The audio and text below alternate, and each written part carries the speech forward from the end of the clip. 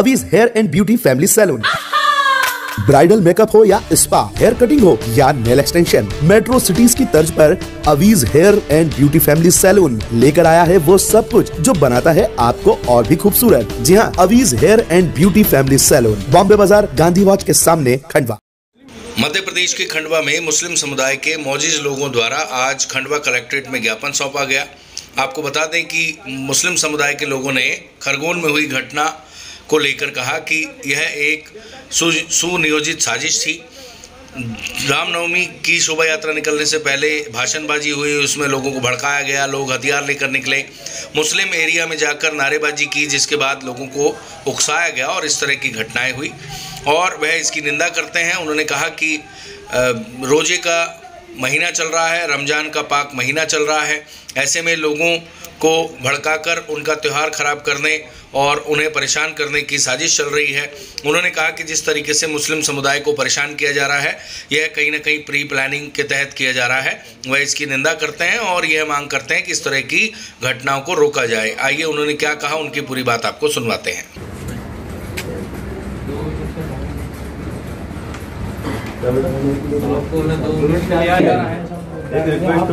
दो लोगों का में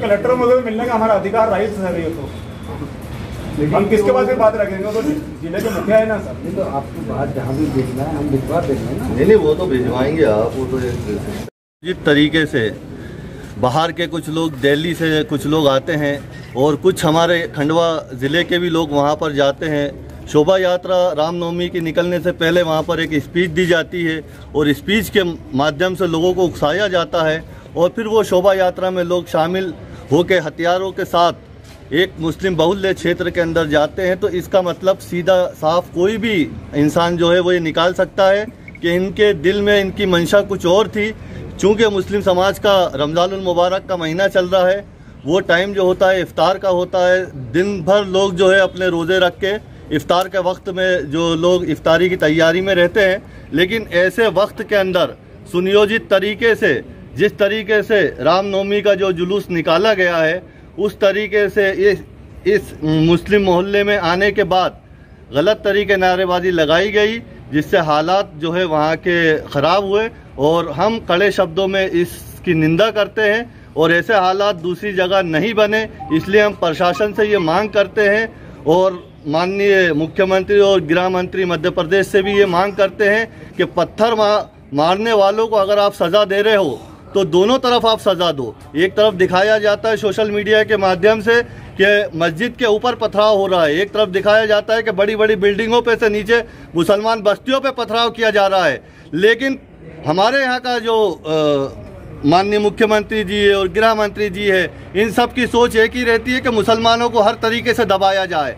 अब ये दबाने का सिलसिले को बंद किया जाए, ईमानदारी से काम किया जाए। हम लोग जो है, माननीय मुख्यमंत्री और गृह मंत्री से निवेदन करते हैं, खंडवा की आवाम कि आप जो है दोनों आँखों से देखे।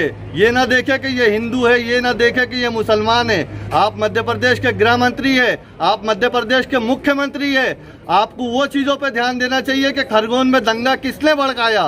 कौन लोग थे जो दिल्ली से आए? कौन लोग थे जो खंडवा से दिल्ली, खरगोन गए? और फिर वहाँ पर अपने उत्तेजित भाषण देने के बाद वहाँ की आवाम को उन्होंने ऐसा मैसेज दिया कि वो आवाम, फिर वो जाती है शोभा यात्रा की शक्ल में निकलती है और फिर वहाँ पर दंगा भड़कता है। मेरी गुजारिश है मध्य प्रदेश के मुख्यमंत्री जी से, और एक चीज़ और मैं आप लोगों को बता देना चाहता हूँ कि वो अधिकारी, वरिष्ठ अधिकारी जिसके पाँव में गोली लगी है, वो गोली आई कहाँ से? वो गोली उसी मजमे में से आई है जहाँ पर अधिकारी जो मौजूद थे। हम उसकी भी निंदा करते हैं, हमारे जो एसपी महोदय को जो गोली लगी है। यहाँ जो टीआई मंडलोई जी थे, उनके सर में चोट लगी, वो पत्थर कहाँ से आए? इसकी जाँच होना चाहिए, ना कि ऊपर बैठे बैठे ये आदेश दे दिया जाए कि पत्थर वालों के घर को हम पत्थर बना देंगे। पहले जाँच तो करो कि पत्थर आए कहाँ से।